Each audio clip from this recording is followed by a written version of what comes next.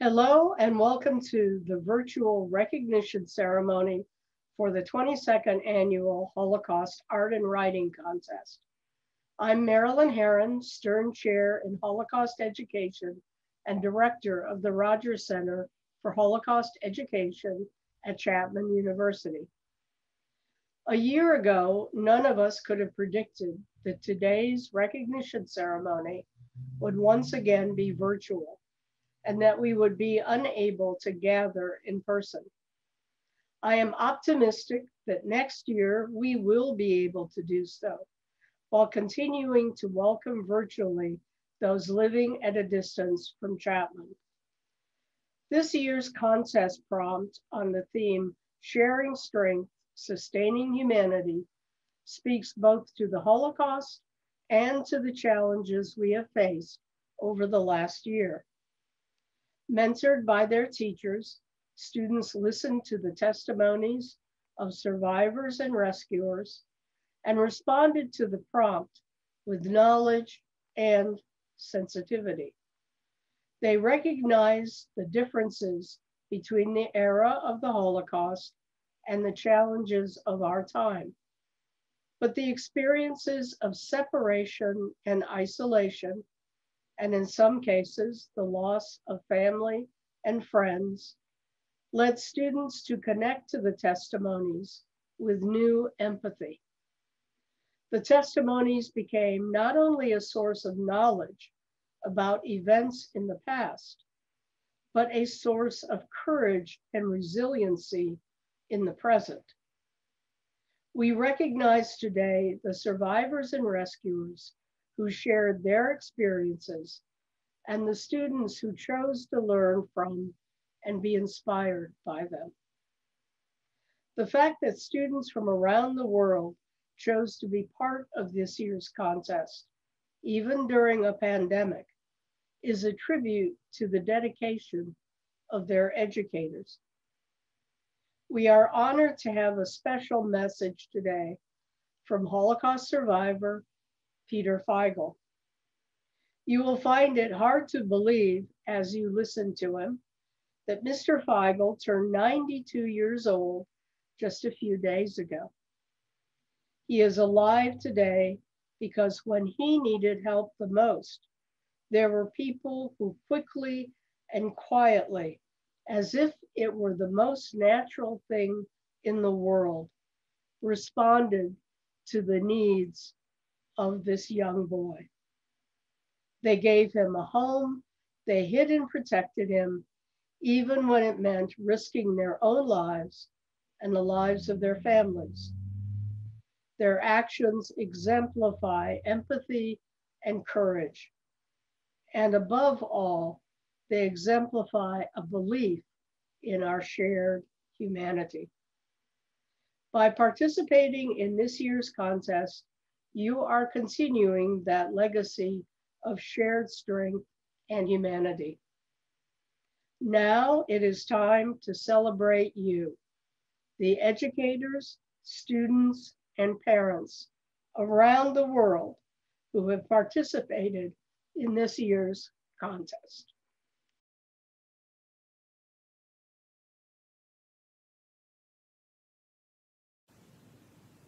Hello, my name is Bill Elperin, and I'm president of the 1939 Society.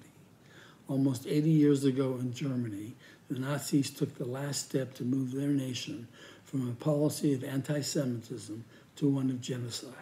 They set out to pursue a goal beyond that of making their homeland racially pure.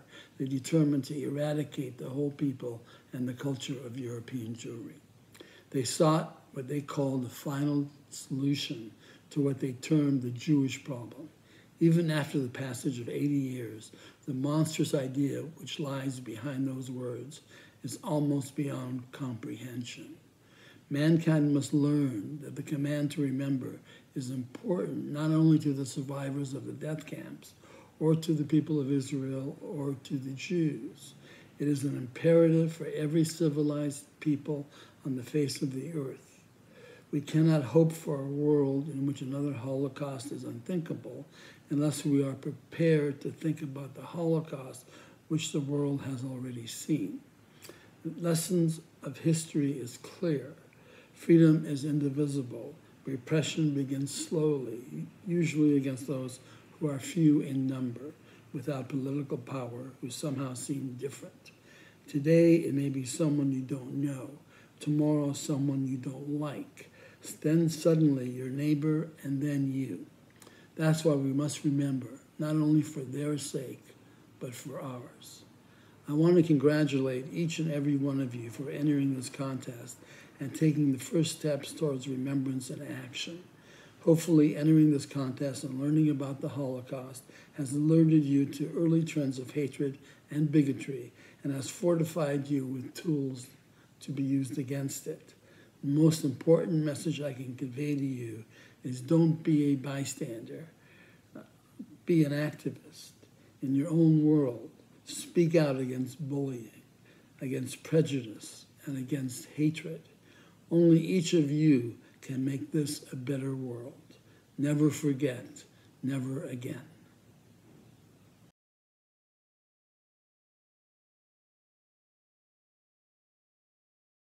Thank you, Rodgers Center for Holocaust Education at Chapman University. Student participants, teachers, and everyone else taking the time to listen to this program. Thank you for inviting me to share with you today my Holocaust survival experience. First, a little background. Following Germany's defeat in World War I, their generals chose to blame others for their defeat and loss of territory while the political leaders sought someone to blame for a collapsing economy with massive unemployment, hyperinflation, starvation, and restitution payments to the war's victors. Shunning responsibility is only too common and easy. Just find a suitable scapegoat. By masterfully spreading fear and propaganda, which included misinformation and lies, power hungry politicians rose to power during the 1920s. The consequence was the Nazi Party.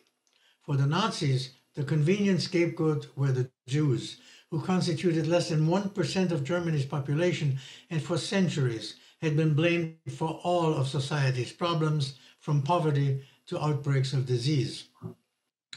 No doubt you've heard and learned much about the massive atrocities, horrors, and murders perpetrated by the Nazis and their collaborators. By muzzling free speech, silencing the free press, and controlling print, radio, movies, and education, they stirred up latent hatred of Jews. With that history in mind, let me now tell you about my experiences, something that is only possible for me to do because I had the good fortune of encountering good people who did the right thing, if only there had been more of them. As an only child, I was spoiled. My father, Ernst Feigl, born in Vienna, Austria, was a successful mechanical engineer working in Berlin. My mother, Agnes, was born in Germany. Ours was a comfortable, upper middle class family of Jewish background. We took vacations at the seashore and sometimes visited Austria, where my father's two sisters, Aunt Marianne and Aunt Minnie, lived. We were well off by the standards of the time. Dad was always elegantly dressed and loved driving his Mercedes on weekend outings. Mother loved knitting, reading, and listening to music over the radio. Fully integrated into Austro German society, my father wanted nothing to do with religious practices, and mom went along with his wishes. At Christmas time, however, we always had a Christmas tree, and Santa brought me presents. Once he even brought me an electric train set.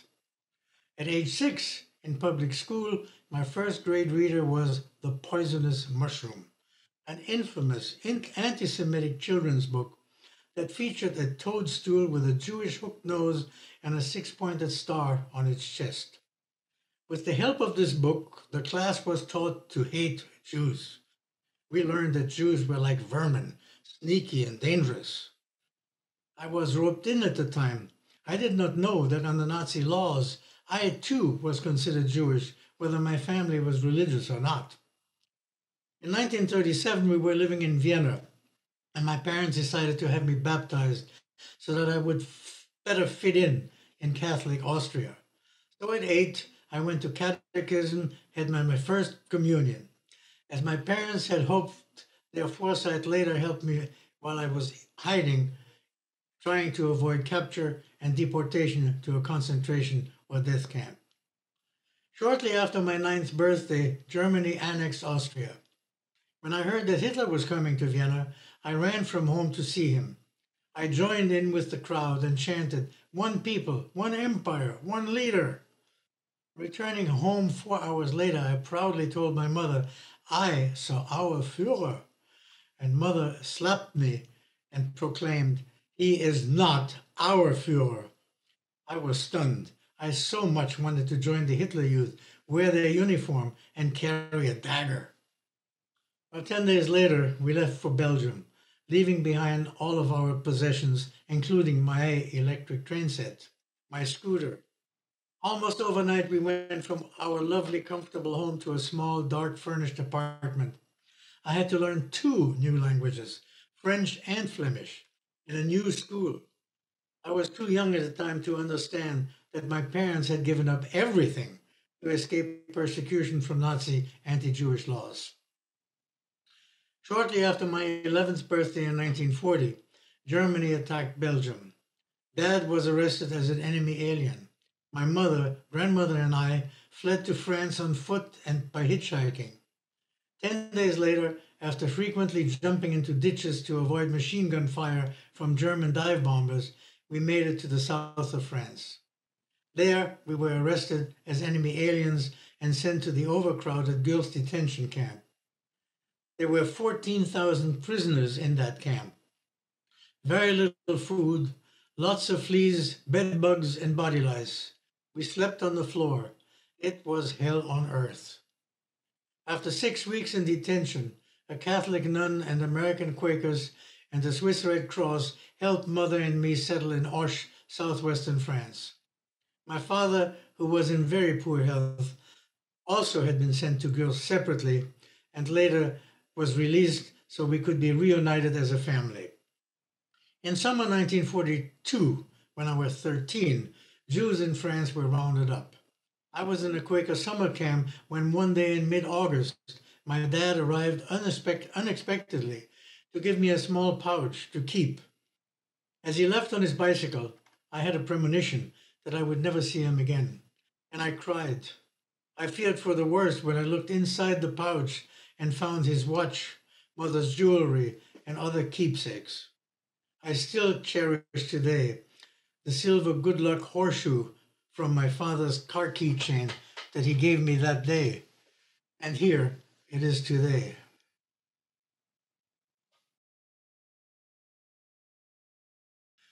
On August 27, the camp director, Mrs. Cavaillon, a devout Catholic, who often took me with her to seven o'clock Mass, informed me that my parents had been arrested the day before.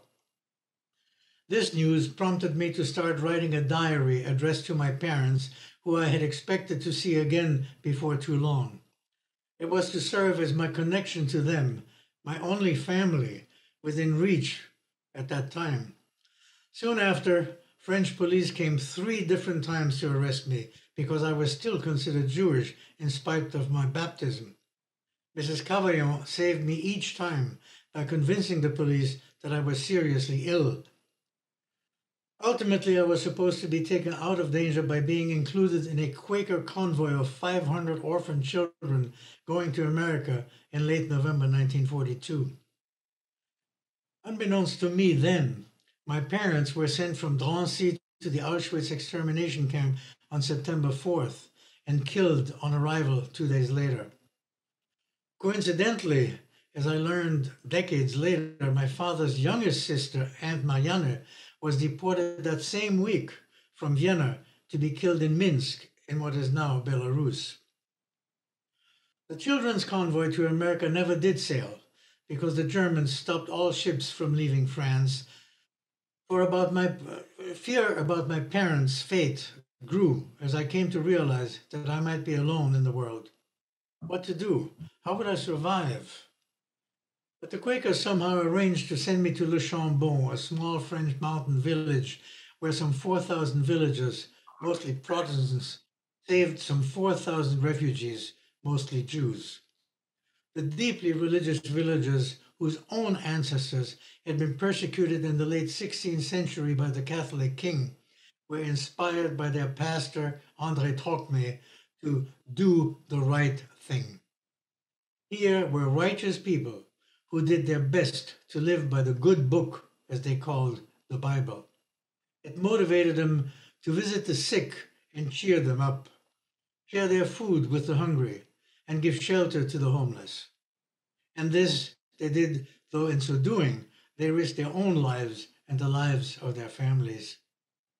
My diary ends abruptly on arrival there, and it only miraculously resurfaced 45 years later. I stayed in Le Chambon in a, a, group home called Crickets with some 24 other children, my only family at the time. Being together with others in the same boat as I gave all of us strength to go on with our lives. In September 1943, at 14, I was given a false French identity and became Pierre Fesson. I was sent to a boarding school in Figeac, where I began my second diary, recording daily for my parents what I was doing in their absence.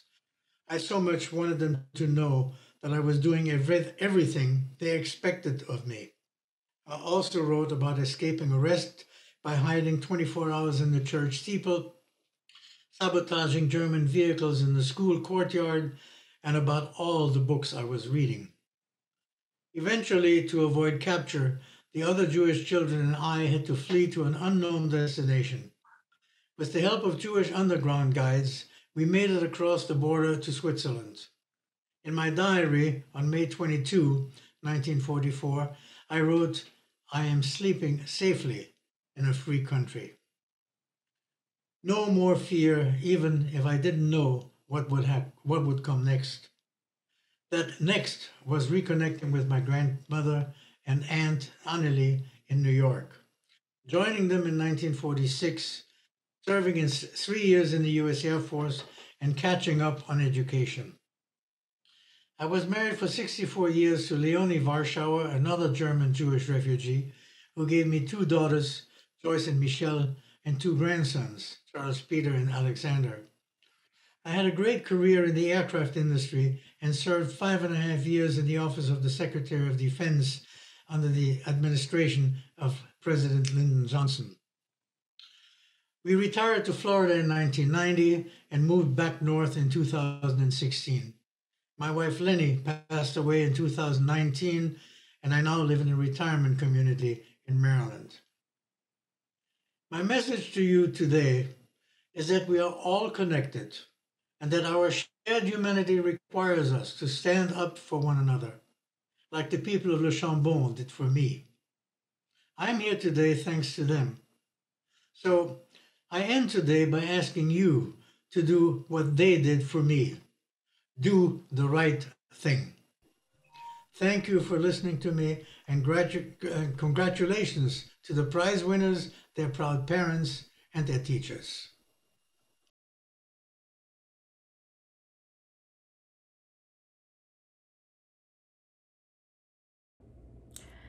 Hi, I'm Jennifer Keene, the Dean of Wilkinson College of Arts, Humanities, and Social Sciences. We are proud to have the Rodgers Center of Holocaust Education as a vital part of our college. We are also proud to be part of this contest, which began 22 years ago and now has grown to become truly international in scope. I know that this year has been an exceptionally challenging one for both educators and students. That makes your participation in this year's contest even more remarkable and commendable. Each of you, educators and students alike, deserve special praise for listening to the testimonies of survivors and rescuers, seeking your own meaning in them, and then creating works in prose, poetry, art, and film that reflect both their experiences and yours. Perhaps this year, especially, you have learned that memory can be a source of inspiration and strength. In the next few minutes, you'll see the names of registered middle and high schools from 32 states and 12 countries spanning the world, including Canada, Denmark, Germany, India, Mexico, the People's Republic of China, Romania, South Africa, South Korea, Turkey, and the United States. I want to give a special shout out to Poland, which has 13 participating schools, the most we have ever had from any country outside the United States in the history of the contest. Although separated by great distances, through this contest, you've come together as a community dedicated to furthering the memory of the Holocaust and to creating a more just, compassionate, and humane world. Today, we celebrate you all.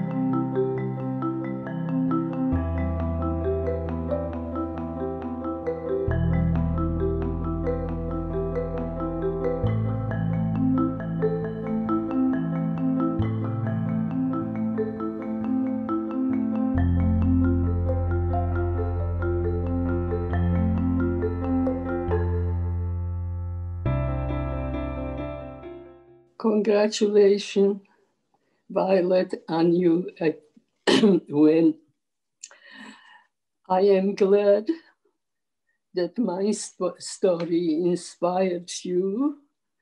The hard time of COVID 19. Hopefully, we will get it over soon. It is so important to make people understand the meaning of family and friends. Thank you for choosing my past for a better future. Thank you.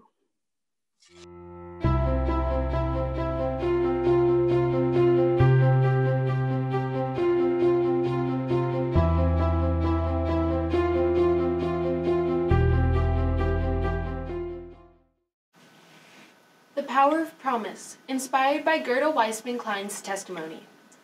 Promise is vulnerable. It is a capacity for greatness, but it is not a guarantee. Gerda Weissmann Klein was born into a world bursting with the promise of love, acceptance, and limitless possibility. She lived in Bielsko, Poland with her parents, her brother, and a large extended family who congregated at her home each Sunday. I was taught to love my own religion and tradition, she explains in her video testimony, and to respect everybody else's religion as well. Gerda dreamed of becoming a mother and a writer, and in this, this atmosphere of love and respect, everything seemed possible. But on September 3rd, 1939, the promise of her childhood was shattered when the Nazis invaded Bielsko. Gerda was 15 years old. As flags with swastikas sprouted from rooftops, she remembers, her relatives fled. Her brother was conscripted for forced labor with the German army, and old friends rejected her. Forced to sell their belongings to survive, Gerda and her parents lived in their basement until 1942, when they entered the Biala ghetto. The life we knew, the life we were a part of, it was all gone, she says. But promise can also be powerful. It is committing, choosing, and doing. That's why, after learning of a family who had committed suicide, Gerda's father made her promise never to surrender to desperation that way. Gerda could not have imagined when she responded, I promise you, that her words would prove to be a lifeline. For one night in the Marzdorf work camp, exhausted, suffering, and lonely, Gerda contemplated jumping in front of a train. Only the memory of her promise and its connection to her father stopped her. From 1942 to 1945, Gerda labored in Bolkenhain, Marzdorf, Landeshut, and Grünberg. Amid the harsh conditions in the camps, there were glimpses of promise a raspberry from her friend Ilsa, a play performed with the other girls, an SS guard, Frau Kugler, who proved to be one of the most decent people Gerda had ever met. Those glimpses reminded Gerda of her humanity. They affirmed her connection to other people, and that sense of connection gave Gerda the strength to make another important promise. During the death march to Czechoslovakia in 1945, as Ilsa lay dying in her arms, Gerda promised her friend that she would keep going for another week. One week later, Gerda was liberated. It is vital that we uphold the power of promise through connection. This is the message of Gerda's testimony. Today, threatened by an unpredictable virus, we must cooperate to keep each other safe. By doing so, we acknowledge each person's innate promise. We must support those struggling with fear or loss. By doing so, we protect each person's innate promise. We must affirm our connection. By doing so, we nurture each person's innate promise. I will rise to the challenge. It is our responsibility to take care of one another. I will let human connection strengthen and guide me. I promise.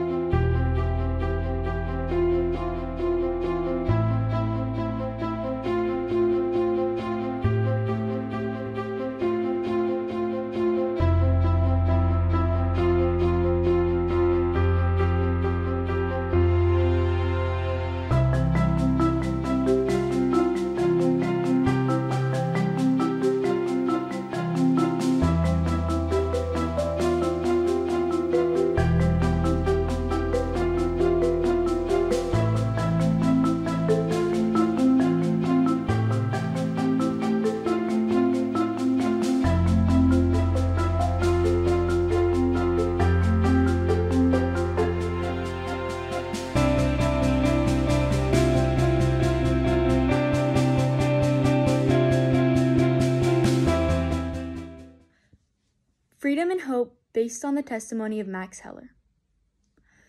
He used to live free from evil until his freedom was taken away by a Nazi uniform.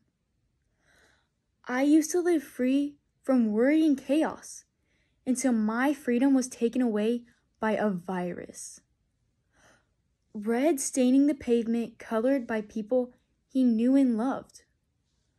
Final breaths filled the air of hospital rooms with people I care about. A loving, warm family helped him push through every day. My friends and family helped me continue to fight day by day. He knew that he had to leave this place of silent horror. I knew that I needed to stay safe from the outside world controlled by the virus. He began his journey to a new place of freedom with no other choice. I had to start adapting to these hopeless times for the sake of humanity. Looking back at his parents, he could only see them getting smaller and smaller. With leaving school and limiting contact, everyone began to get farther and farther away. When he arrived in America, he was scared. He knew that he had to look to memories for comfort. When quarantine started, I had to rely on my past experiences for support. He had to move forward. I have to continue to march. Where was he able to find the freedom he longed for? Where can I find the freedom I wish for? He remembers seeing an American uniform, but this uniform didn't make his palms sweaty. I remember seeing uniforms of doctors, nurses, and scientists. This uniform of freedom didn't make him want to hide. These uniforms give me hope. The person wearing the uniform was welcoming to him. I see the people wear these uniforms trying to change the world. The police officer's friendliness was his first sign of freedom. The first responder's grit was my first sign of hope. Freedom from vile hatred and oppression, hope for a cure.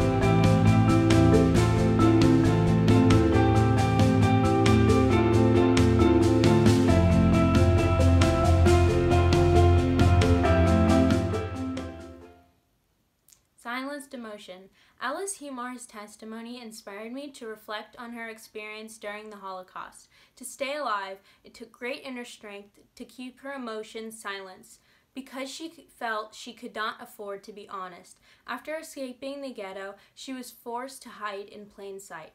Her silence was a matter of life and death. The hand symbolizes how she felt closed in herself. It represents fear, oppression, isolation. Although my COVID experience does not compare, I felt closed in and isolated. I hope one day to inspire others as Alice has done for me.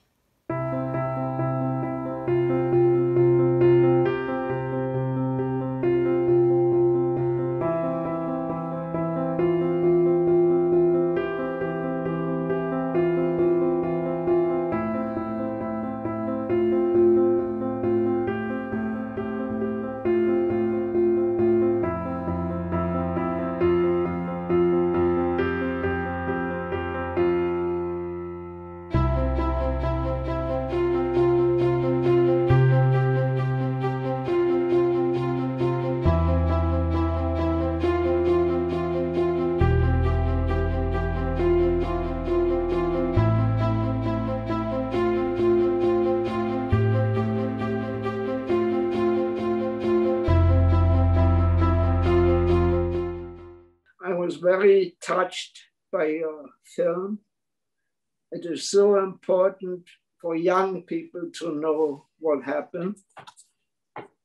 And I wish you all a good future, no problems. Thank you again. I was really, really very impressed and touched by your film. I really admire you for doing that. And thanks again, many, many times.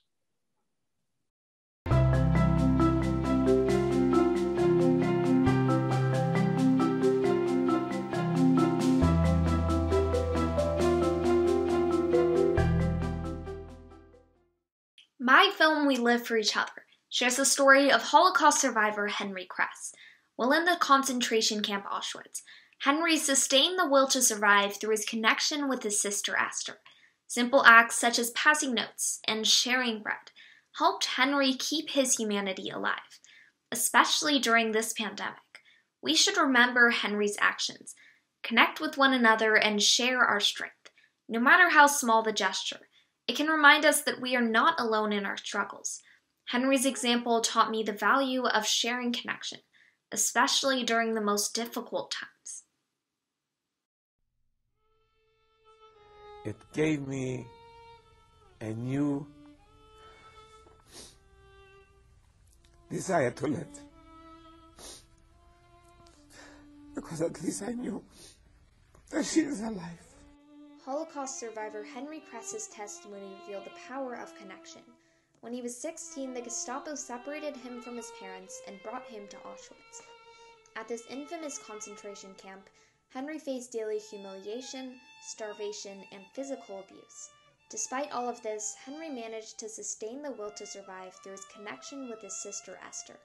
Henry shared how he would stuff slices of bread in his shoes to bring them to his sister, no matter how hungry he was or how risky his actions were. Henry continued to help his sister. Henry also shared a memory of passing notes to his sister in secret, although these notes only had a few words scratched onto them. The notes were tangible proof that they were both still alive and that they still had each other. In Auschwitz, when hopelessness overwhelmed Henry, he would think about his family. During the miserable days and terrifying nights, Henry would choose what to hold in his mind. He would recall the warmth and joy of family gatherings on Hanukkah and the Sabbath. Daydreaming about better days didn't erase the horror of Auschwitz, but thinking of his sister and the rest of his family helped him envision a happier future. Although this pandemic is vastly different from the Holocaust, the burden of isolation that many of us feel has created pessimism and despair. What many of us miss are the daily connections to our friends at school or colleagues at work. When we feel alone, we can remember how Henry remained connected during the Holocaust. Sometimes we can't change the external conditions that limit or frighten us, but we can choose our response. Henry risked everything to remain connected to his sister, the surviving member of his family. In our own lives, we can rely on our family, friends, and neighbors to help us through challenging times. Although physical connection is not possible, we have found new ways to connect through phone calls, emails, and written communication. It is in these small and meaningful connections that we are truly able to follow Henry's example of the internal strength that he retained during the Holocaust.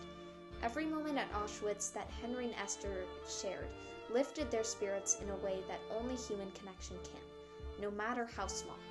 Especially during these times, it's important to understand that we are not alone. We must reach out for that small connection that can inspire strength and hope. And I was concerned that if I don't survive, that she will not survive because we live for each other.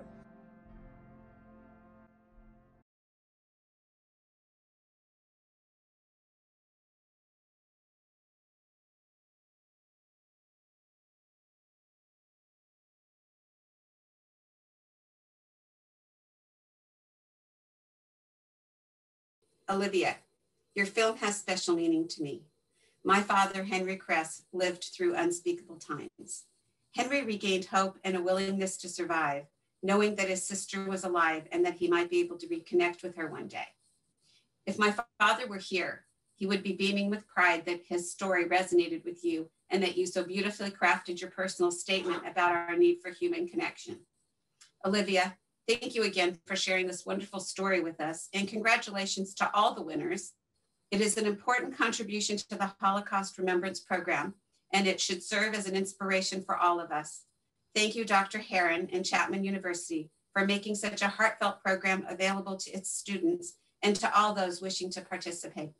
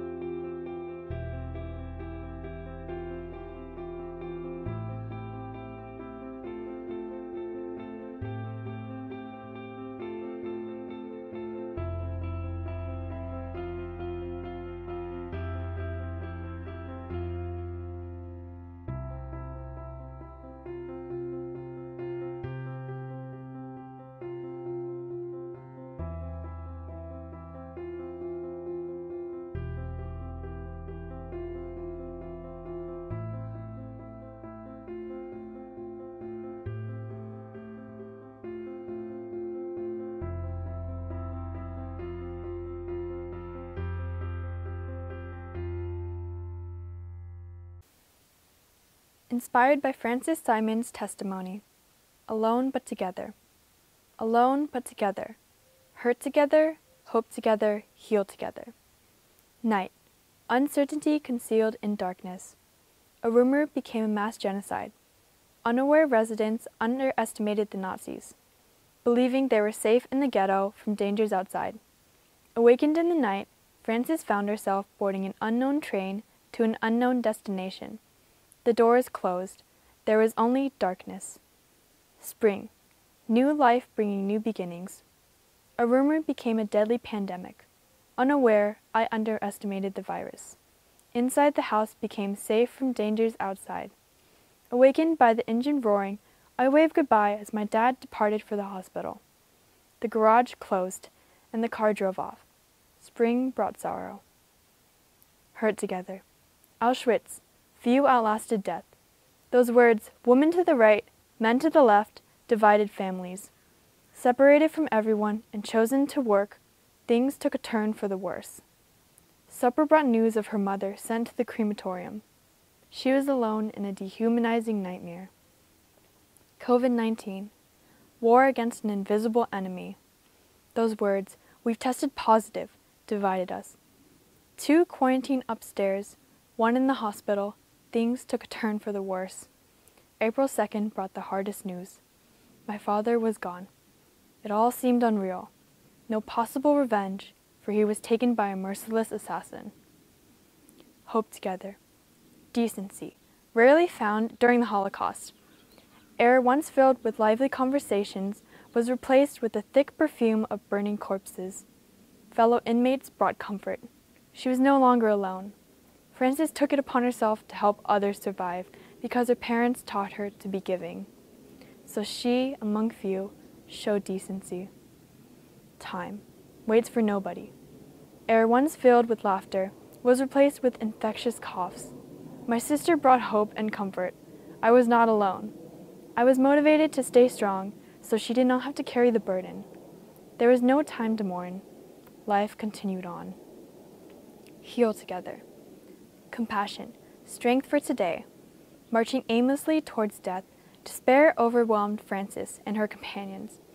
But compassion from a superior, given in the form of food and rest, gave a renewed hope for the future. A future built on the foundation of compassion. Community, hope for tomorrow. With the coming of my father's death, I had become emotionally unstable and stressed with responsibilities. But my friends and family came together to show sympathy and support, encouraging us to remain strong in a time of despair. Community brought hope into our lives. A seemingly eternal winter has settled over our world. Just as the Nazis infiltrated Jewish communities, now more than ever, our communities perish.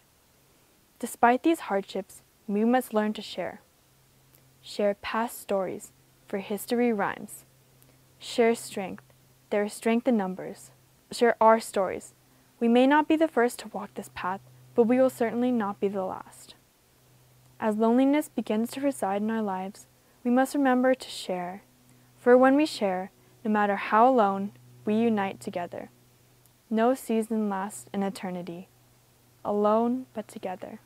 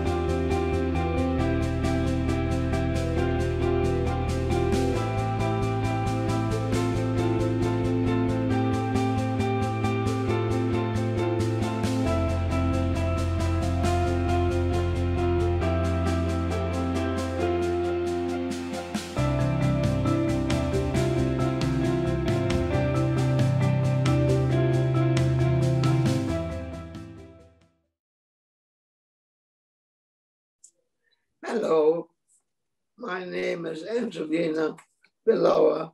I'm a Holocaust survivor. I want to thank you. I'm very, very touched for the, the uh, artwork you did. It's, my husband would be thrilled to see that. And it's amazing how you do that. I'm really very grateful, and I'm sure my husband would be very grateful too.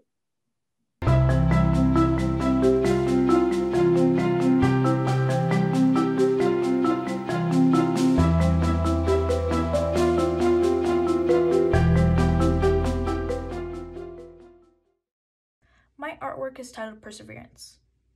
In Esther Stern's testimony, she mentioned how she and her two younger sisters had to march in horrible freezing weather conditions without any warm clothes. They were able to sustain their humanity through this trek by holding each other close for warmth. In this piece, I wanted to emphasize the warmth and strength they shared through their family connection, which allowed them to persevere through the death march and all the terrible events of the Holocaust they endured. My family's presence and support sustain me now during the worldwide pandemic.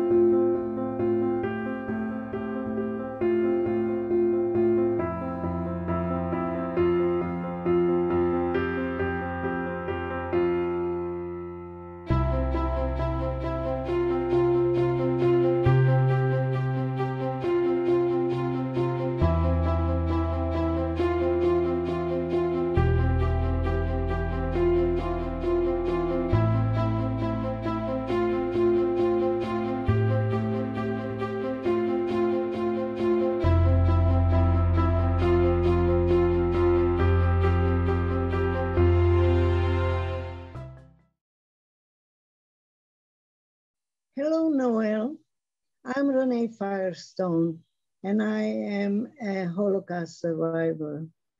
I want to congratulate you in the wonderful film you made based on my story, on my life story as a Holocaust survivor. I'm so proud uh, of you and what you accomplished. Everyone should see this film that they should learn about the Holocaust. Wishing you a very, very uh, success in your future, in our future.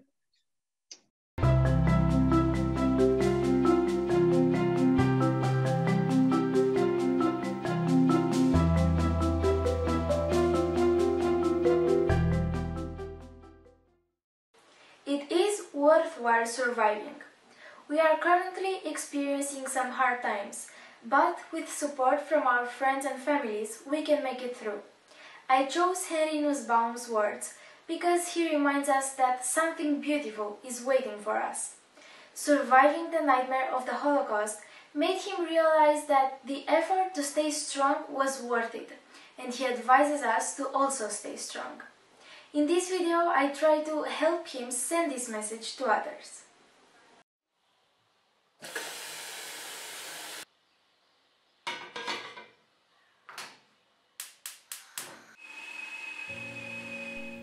Day 340 of the pandemic. Today feels like yesterday and the day before yesterday. I am making myself a cup of tea and I continue my book about the Holocaust. Now I am reading the story about Henry Nussbaum, a very brave man who survived that terrible hell. He was born and raised in Poland. He went through a lot. He stole food and goods, he was arrested, beaten up, but he kept helping others as much as possible, like others helped him. He never gave up, he never lost hope. Uh, it was something that I didn't want to look back, just running away from Sodom and Gomorrah, sort of. Just run forward, run, run away from where you were. Go someplace, and we are running, really running. I see a lot of similarities between us and the people who are trying to survive the Holocaust.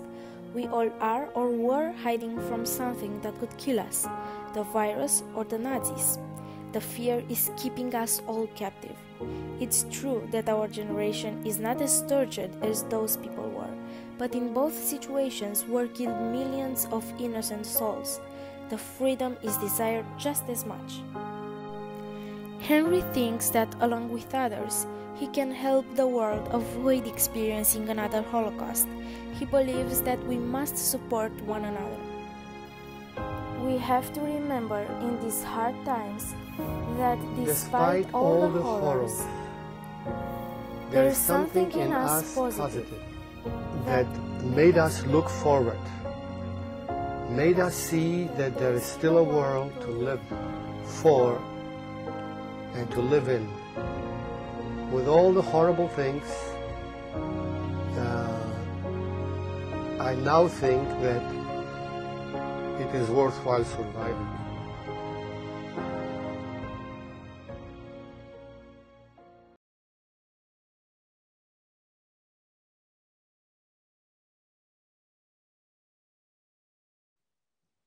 Hi, on behalf of President Struppa and Chapman University, I want to offer my congratulations to the finalists, the first and second place recipients, and to all the students and teachers who participated in this year's contest. Today, thanks to all of you, even though we can't be together in person, we are very much a special community. This contest speaks to our values as a university, as a place where the generations come together and learn from one another, and as an institution that affirms the power of memory in shaping our future and guiding the decisions we make in our lives today. This has been a year of challenges and loss loss of people we care about, and loss of the opportunity to be in a classroom and to socialize with our extended family and our friends.